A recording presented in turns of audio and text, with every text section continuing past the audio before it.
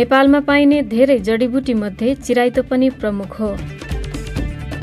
चिराइतोको वैज्ञानिक नाम स्वेर्सिया चिराइता हो। हिमाली तथा उच्च पहाडी क्षेत्रको रैथाने यो वनस्पतिका लागि समुद्री सतहबाट पन्ध्र सयदेखि तीन हजार मिटर उचाइको हावापानी उपयुक्त मानिन्छ।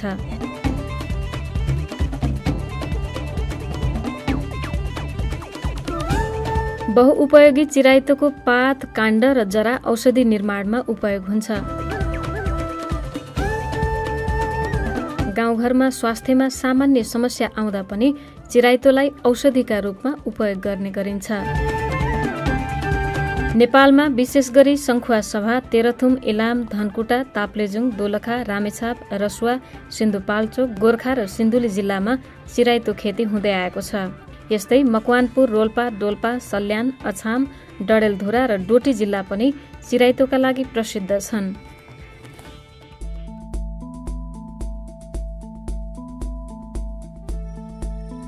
उच्च पहाडी तथा हिमाली जिल्लामा चिराइतो खेती गरेर विदेश निर्यात गर्न सकिने प्रशस्त सम्भावना देखिएकाले नेपाल सरकार वन तथा वातावरण मन्त्रालय अन्तर्गतको वनस्पति विभागले बहुउपयोगी चिराइतोको प्रजातिका बारेमा अध्ययन अनुसन्धान सुरु गरेको छ।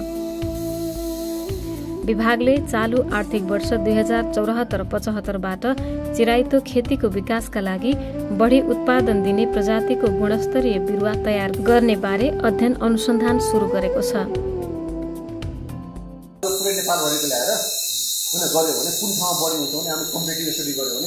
कुनको क्वालिटी राम्रो छ भने थाहा हुन्छ। राम्रो प्रमोट गर्ने खेतीमा लाने होइन बिस्तारै गर्ने जस्तो राम्रो छ त्यो काम बल्ल सुरु भयो एउटा पुत्ता लगायो अब अर्को पनि लगाउने हामी सुरु गरिसकेका छौँ होइन। अब त्यो सोलभेट सिस्टम त लगाउनु पऱ्यो पिक कस्तो लगाउनु पऱ्यो सिआरएम ल्याउनु पऱ्यो त्यसको सर्टि सर्टिफाइड रिसर्च मेटेरियल त्यो लगाएपछि बल्ल हामी अर्को पिकहरू पनि हामी डिटरमाइन गर्छौँ जस्तै योभन्दा पनि ठुलो पिकहरू छ नि यहाँ। यिनीहरू अर्को पिकहरू छ क्या ठुल्ठुलो पिकहरू यो योभन्दा पनि बढी मात्रामा यो हुनसक्छ। यदि केमिकल एक्टिभ कम्पाउन्ड यो हो भने यसको पनि यसले पनि यसको कालो प्याजको भाइलाई हुन्छ। त्यसले अब एउटा कम्पाउन्ड एउटा काम गर्ने हो। अब कुनले के काम गरेछ त्यो कन्सेप्टै निकालेर हामी यसलाई प्रोडक्सन भनौँ न फार्मास्युटिकल इन्डस्ट्रीतिर गयो भने झन् राम्रो हुन्छ। यस्तै भौगोलिक बनावट अनुसार चिराइतोको जीवनचक्र अध्ययन गरी कुन प्रजातिमा बढी तितोपन पाइन्छ सोही प्रजातिको बिउ विकास गर्ने योजनाको कार्यान्वयन सुरु गरेको छ। चिराइतोको नयाँ भेराइटी डेभलपमेन्ट गर्ने भनेर योजना छ यहाँ डिपिआरको। अनि यसमा चाहिँ हामीले नेपालको सबै सबै पार्टहरूबाट के अरे यो चिराइतोको डिएनए आइसोलेसनको लागि थोरै लिफ स्याम्पलहरू चाहिँ सिलिका जेलमा प्रिजर्भ गरेर यसरी ल्याबमा लिएर आएको छौँ। अनि त्यसपछि यसको डिएनए आइसोलेसन गरेर अब फर्दर प्रोसेसहरूमा जान्छौँ हामी। पिसिआर रियाक्सन बनाउँछौँ यहाँनिर। अनि त्यसपछि पिसिआर मेसिन यसमा चाहिँ हामीले पिसिआर रन पिसिआर रन गर्छौँ।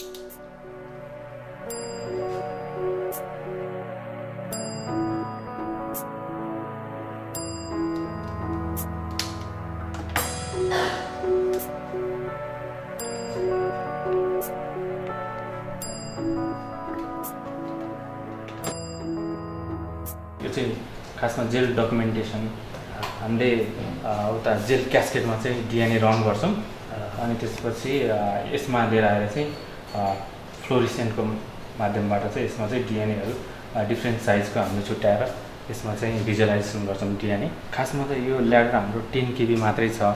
अब टेन केबीभन्दा ज्यादै ठुलो हुन्छ यो डिएनएको साइजहरू त।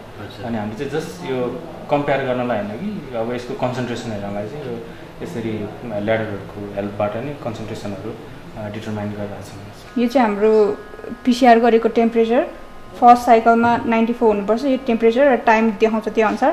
अनि त्यो अनुसार हामीले सेभ र रन गरेर जुन डिएनए आइसोलेट गर्यो नि त्यसको स्पेसिफिक सिक्वेन्सलाई चाहिँ अझ धेरै एम्प्लिफाई गरोस् भनेर गर्न लाग्यो अहिले चाहिँ हामीले आरबिसिआर भन्ने एउटा स्पेसिफिक सिक्वेन्स ल्याएको छौँ प्लान्टको हो त्यसको त्यसलाई चाहिने पिसिआर ए प्राइमर हाल्यो।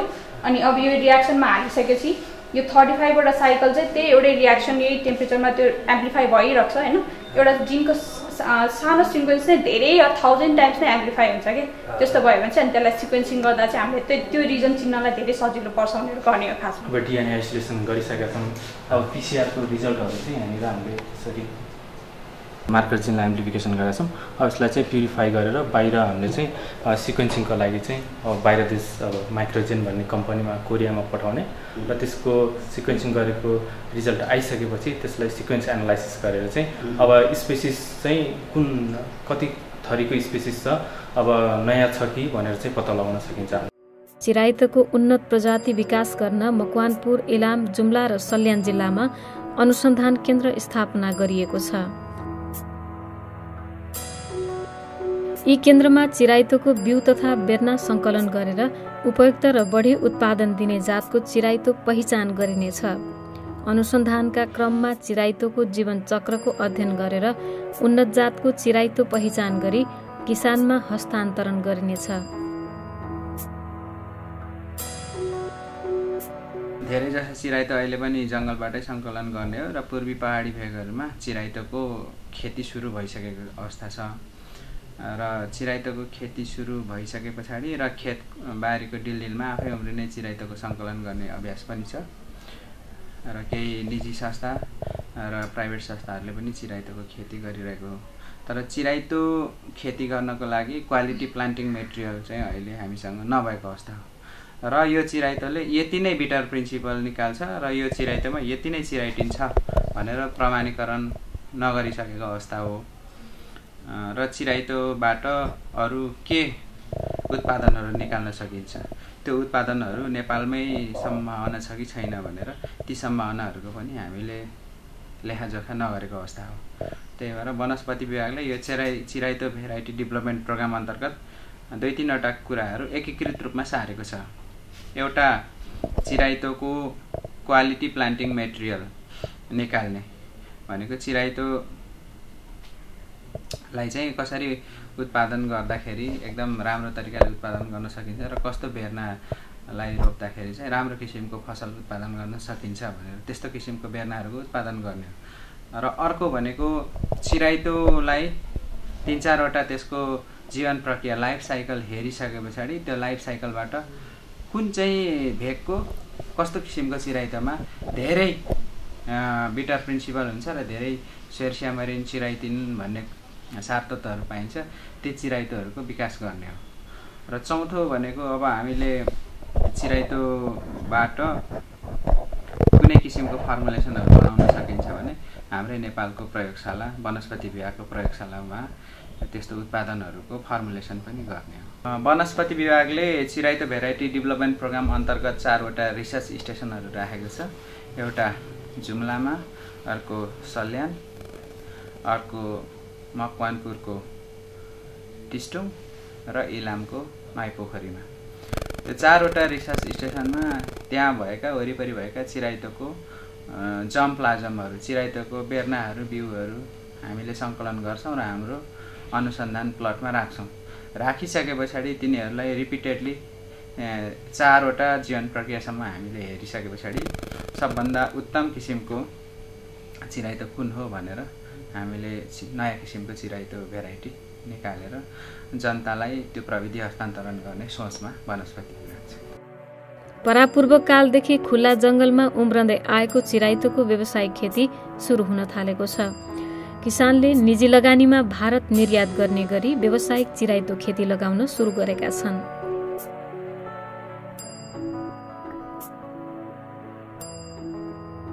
यो वनस्पति बिरुवा लगाएको दुई वर्षमा तयार हुन्छ। बिरुवा रोपेको पहिलो वर्ष चिराइतोले गाँज मात्र हाल्छ। दोस्रो वर्ष यसको फुल फुल्छ र फल लाग्छ। तयार भएको चिराइतोको उचाइ पच्चिसदेखि साठी सेन्टिमिटरसम्म हुन्छ।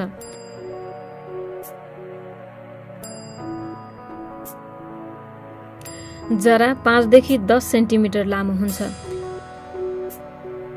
पातको लम्बाइ दुईदेखि तिन सेन्टिमिटर हुन्छ। तयार भएको चिराइतोको फुल काण्ड र जरा उपयोग हुन्छ। जरासहितको काण्ड नै चिराइतोको मुख्य औषधि हो। यसबाट कुनै गन्ध नआए पनि स्वाद अत्यन्तै तितो हुन्छ। यसमा पाइने तितोपनले नै औषधिको काम गर्छ। नेपालमा प्रशोधन नगरी उपयोग गरिने चिराइतो बलवर्धक मधुमेह मलेरिया ज्वरो कब्जियत महिनावारीको गडबडी जस्ता समस्याका लागि अचुक औषधि मानिन्छ। गर्भावस्थामा महिलामा देखिने सामान्य समस्याका लागि पनि चिराइतोलाई औषधिको रूपमा उपयोग गरिन्छ।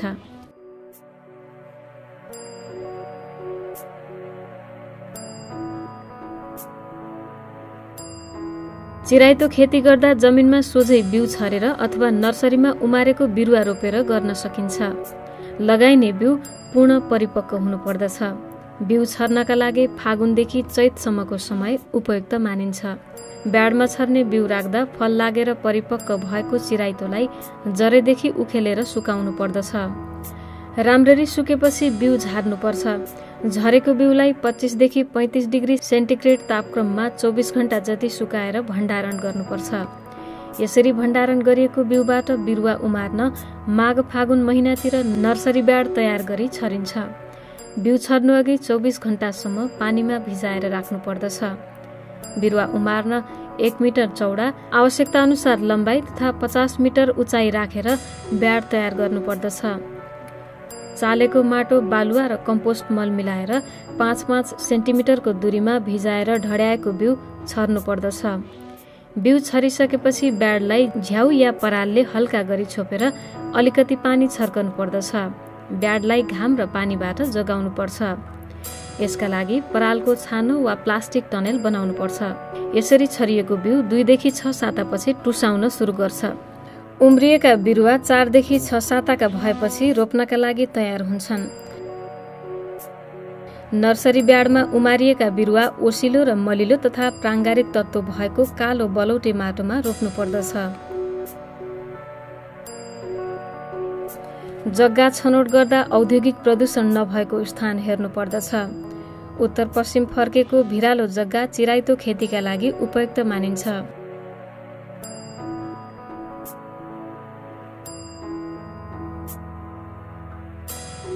नजिकै सिँचाइ सुविधा पनि हुन आवश्यक छ।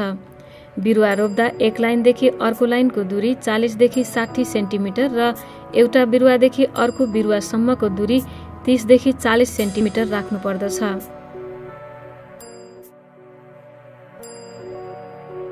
एक हेक्टर क्षेत्रफलमा चिराइतोका अस्सी हजारदेखि एक लाख बिरुवा रोप्न सकिन्छ। चिराइतोको बिरुवा सार्न जेठ असार महिना उपयुक्त मानिन्छ। यस्तै चिराइतोको पात काण्ड र जराको कलमीबाट पनि बिरुवा विस्तार गर्न सकिन्छ।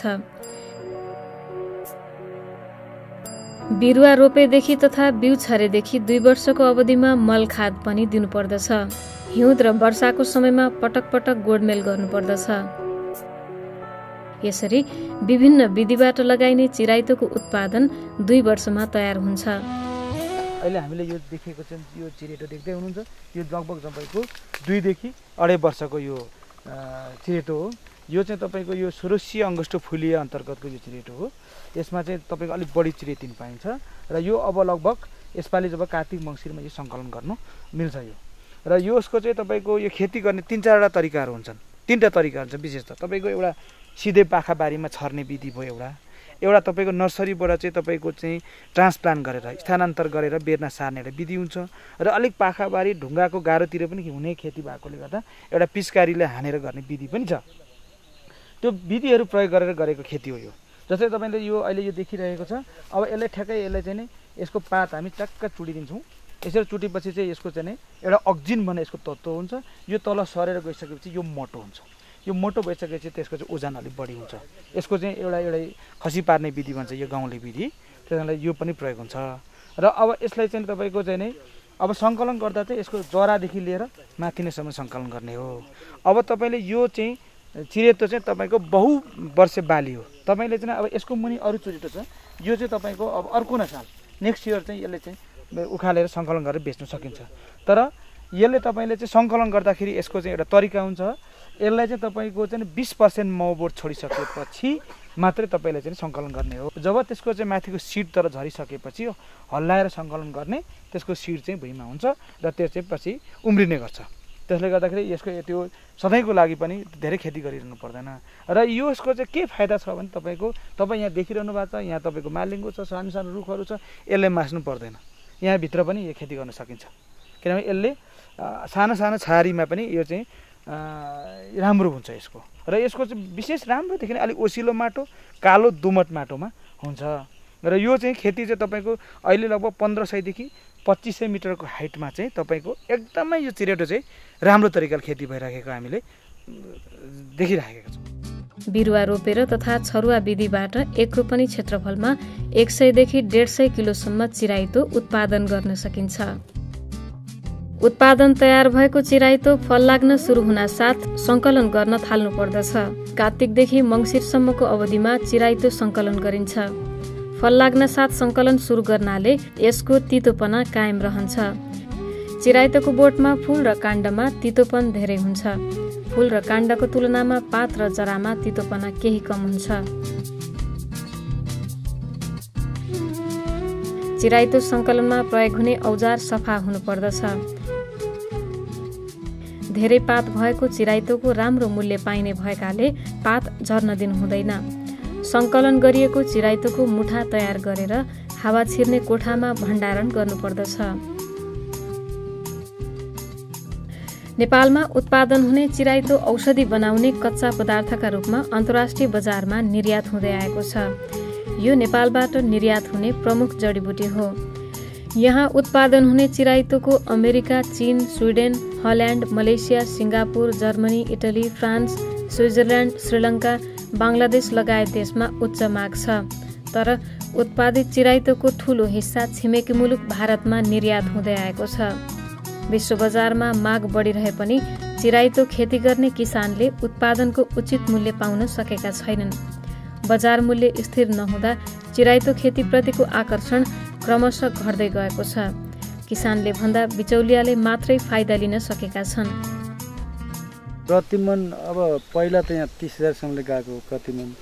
यो वर्ष चाहिँ हामीले दसदेखि बाह्र हजारसम्मले बेच्न सफल भयो। अलिकति त्यो मिसआउटको कारण विभिन्न कारणले गर्दा भाउमा गिरावट भएको छ। अब यो अर्जिनल माल चाहिँ यसको दाम चाहिँ अब पुगिरहेको छैन यसको मेहनत अनुसार दाम चाहिँ भएकै छैन। अब यो दामको यकिनमा चाहिँ अब राज्य स्तरबाटै अलिकति पहल भएमा चाहिँ धेरै राम्रो हुने थियो। अब किसानको पहुँचभन्दा माथिको कुरा भयो बजारीकरण चाहिँ।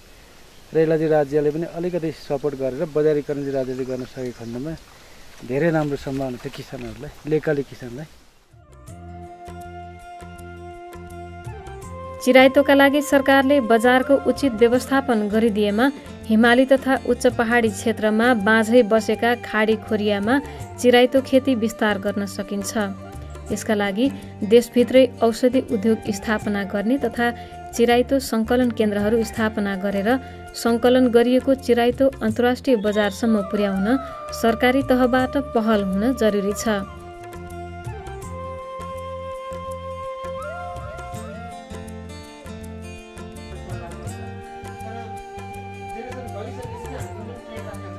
बजारीकरणको समस्या सम्बोधन भएपछि चिराइतो खेतीलाई व्यावसायिक रूपमा अघि बढाउने आधार तयार हुनेछ।